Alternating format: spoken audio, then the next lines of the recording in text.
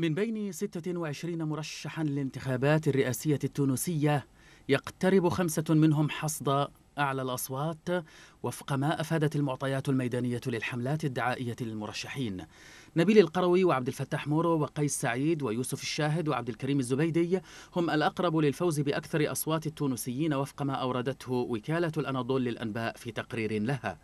ولعل نبيل القروي رجل الأعمال والإعلام يتصدر قائمة المرشحين للفوز في الانتخابات الرئاسية وفق ما يذهب إليه تقرير الأناضول إذ أن القروي القابع في السجن بتهم تتعلق بالفساد كان له دور كبير في انتخابات 2014 أسهم في وصول الرئيس الراحل الباجي قايد السبسي إلى سدة الحكم في البلاد كما أن له باعا في برامج مكافحة الفقر في تونس. ومن ثم فهو يطمح إلى الوصول إلى المقعد الذي أوصل إليه السبسي من قبل.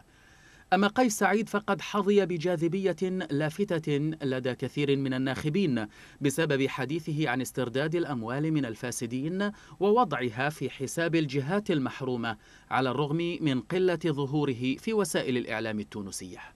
عبد الفتاح مورو هو الآخر مرشح لنيل أعلى الأصوات استنادا إلى أكبر خزان انتخابي ممثلا في حركة النهضة وأنصارها في تونس.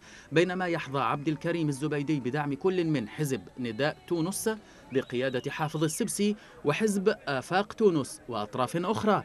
في حين برزت معالم القوة والثراء في الحملة الانتخابية لرئيس الوزراء يوسف الشاهد إلا أن ذلك ربما بعث برسائل سلبية بسبب تنقله بمواكب سيارات رباعية الدفع في مناطق فقيرة يعاني فيها الناس الفقر والتهميش.